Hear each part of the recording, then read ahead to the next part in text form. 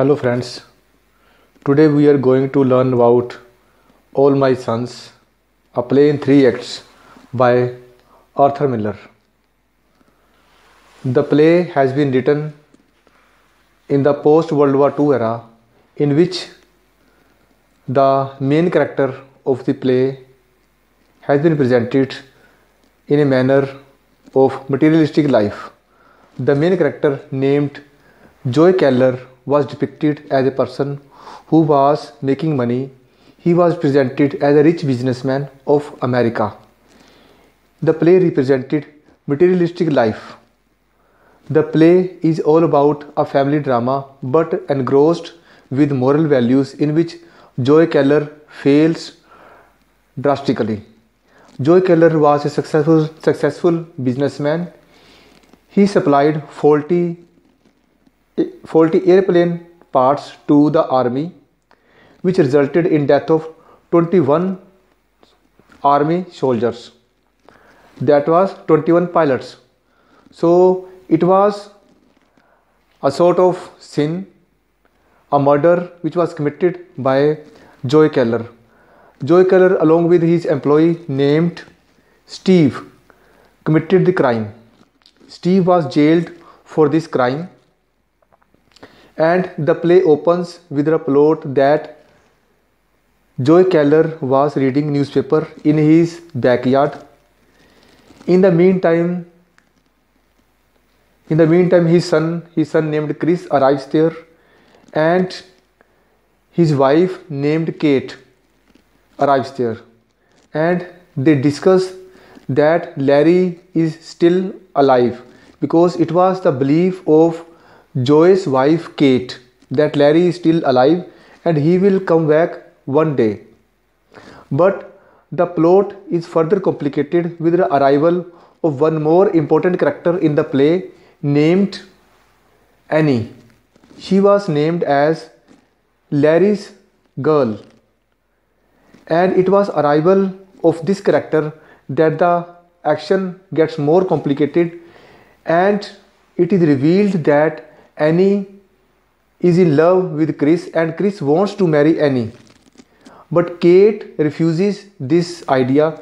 She feels that Annie is Larry's girl because she has been presented as former girlfriend of Larry.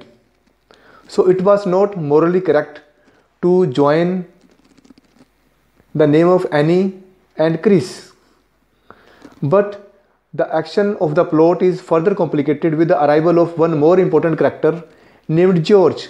George was Annie's brother.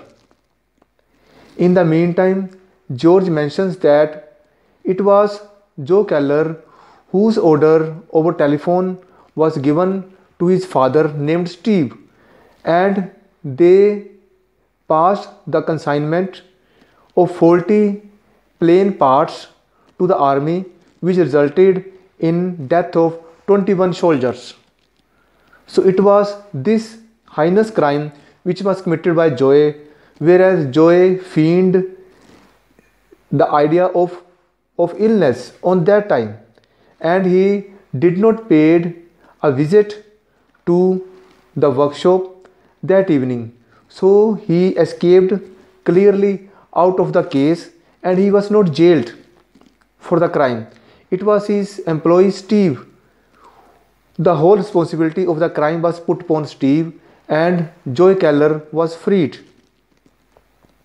In this manner, Joy escaped the punishment, but Steve was put behind bars.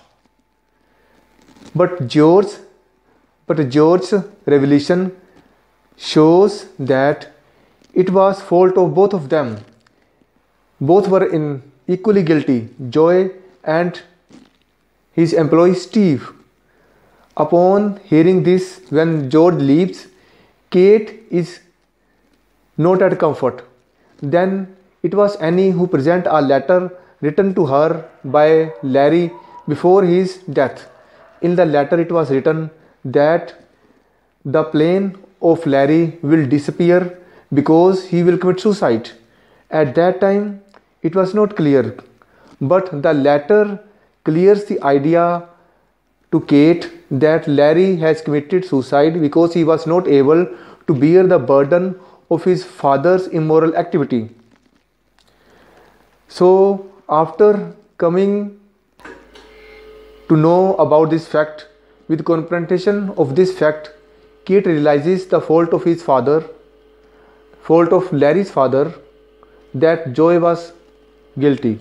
Joy also realized his own fault and after this he went into room and killed himself with a gunshot. That was a suicide by Joy Keller. After this, Kate told Chris that he must leave the town and settle somewhere else so as to live a comfortable life. It was at this moment that the play ends and the play conveys the idea of materialistic life in a wonderful manner.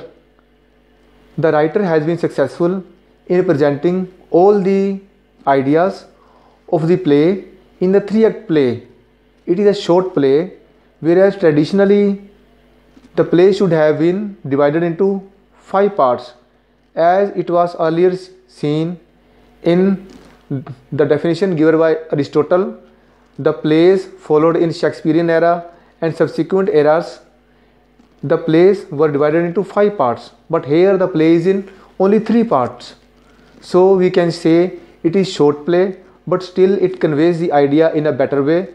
The action comes out, it rises up, then the events are folded out, then the height of the action is reached with complexity. The complexity is much too higher.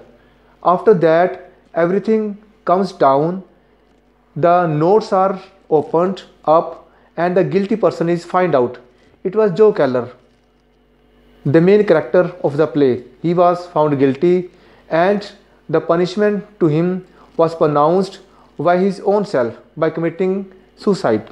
So we can say that Arthur Miller was successful in presenting the idea of materialistic society. Man was running behind money and it was rat race for making money which drove Joy Keller to earn a huge sum of money by immoral activities by supplying faulty airplane parts. So the play has been successful in presenting the idea of three act play in a proper manner. The idea was presented nicely. All the characters were presented in a smooth manner and the story runs in a proper way. So we can say that the play was representing man's greed for nature, materialistic life, and in the post World War II era, the modern man was depicted in his true nature, and the play gives the message of coming out of such immoral activities and leading a pure life. Here we can say we can end about the plot summary of the play. That was all for the day.